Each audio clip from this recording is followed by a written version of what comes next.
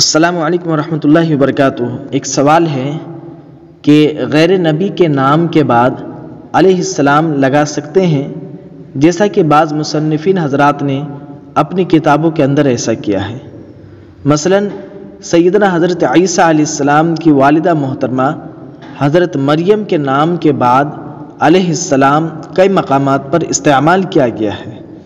तो गैर नबी के नाम के बाद अलैहिस्सलाम लगाना कैसा है?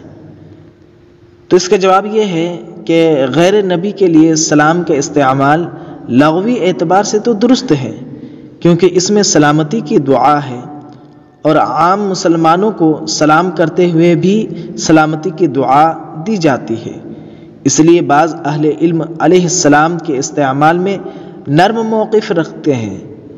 लेकिन अलैहिस्सलाम या सल्लल्लाहु अलैहि वसल्लम एक इस्तिलाही जुमला है सल्फ़ ने इसका इस्तेमाल अम्बिया और फरिश्तों के लिए ख़ास रखा है। और यही अक्सर अहल इल्म का मौक़ भी है।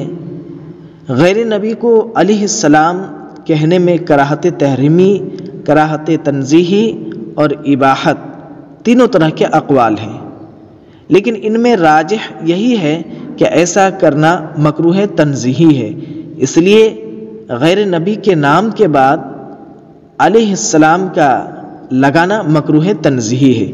इसलिए हज़रत मरियम के नाम के साथ अलैहिस्सलाम लगाने से एहतराज़ किया जाए।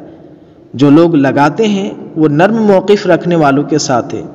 हज़रत मरियम के साथ रज़ी अल्लाह लगाने में कोई मजायका नहीं इसको लगा सकते हैं। वालकम वरहमल वर्का